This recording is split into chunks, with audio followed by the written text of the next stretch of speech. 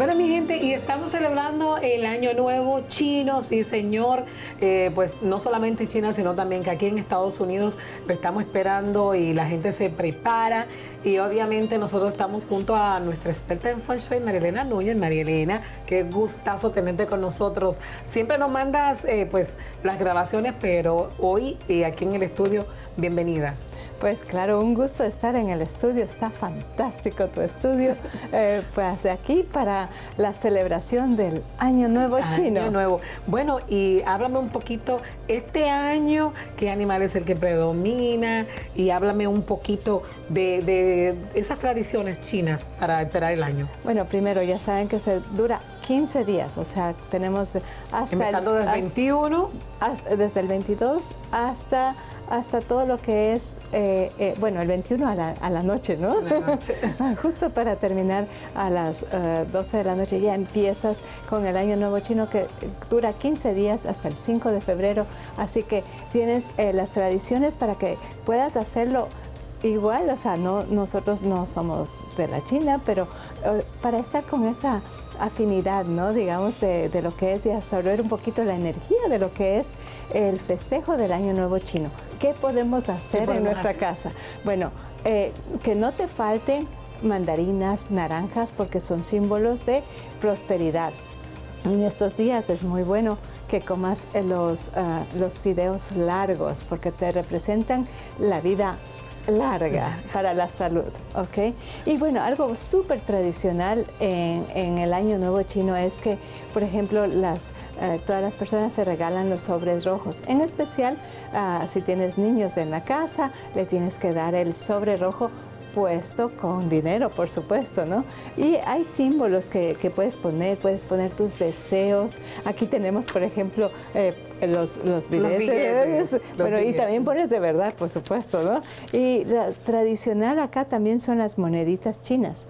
Tres monedas chinas unidas con, eh, con una cinta roja eh, representan buena suerte. Cuando tienes esto y escribes tus deseos, lo mantienes para todo el año en tu cartera o en tu mesita de noche y, y te trae la energía de lo que viene el año del conejo en el 2023. Todos los que son signo conejo pues es su año. y háblame un poquito del libro. Eh, escribiste un año, eh, bueno, cada año lo haces, pero este año del conejo, eh, ¿cómo podemos usar tu libro y cómo lo podemos ordenar? Pues sí, este es el, libro, ah, es, eh, lo puedes ordenar en Amazon, es el es Feng Shui Activaciones Diarias y es todo lo que eh, representa el, año del conejo. Aquí te hablo un poco de lo que es el Feng Shui, un poquito de todo lo que puedes hacer en este año, tus signos. Entonces tienes las tablas donde vas a ver por el año qué signo chino tú eres y entonces puedes ver qué es lo que está pasando contigo. También cosas especiales que puedes hacer cada día de este año. Tienes todo un calendario de, de, día a día, para, por eso se llama activaciones diarias, para que puedas hacer algunas cosas en cada día del año si necesitas. Eh, y ahora en este año del año del conejo hay aspectos, ¿no? Se dice que hay estrellas que se mueven y entonces te dan energías.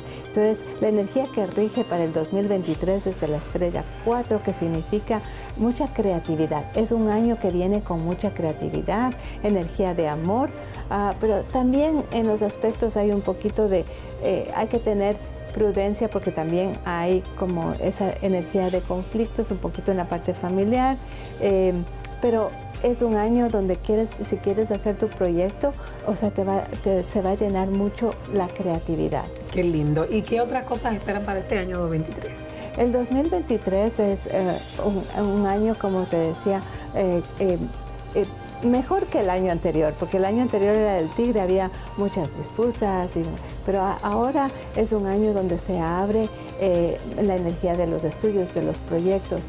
La parte económica va, a ser, va a haber, pero mucha competencia. O sea, está ahí, pero las oportunidades tienes que tomarlas rápidamente porque van a venir, vas a buscarlas, energías que tengan que ver, el, dinero en este año representa el fuego, porque en el Feng Shui hay los elementos chinos y el fuego en este año eh, representa el dinero. Entonces, cosas como por ejemplo las redes sociales, eh, eh, empresas que tengan que ver con fuego son eh, maquillaje, televisión, todo eso va a estar en auge. Entonces van a haber muchas oportunidades que se van a abrir, pero es como un año, como es fuego, tiene que ser acción. Entonces, eh, si, si tú tuviste una idea y lo pensaste mucho, te la van a ganar porque hay competencia. Bueno, bueno, eh, bueno, lo bueno es que no tenemos competencia en el show de Jackie por aquí. Siempre tenemos nuestra gente ahí pegaditos y eh, en las redes, toda la información de Marilena está en pantalla para que usted se comunique con ella, que sé que tienes un evento, así es que...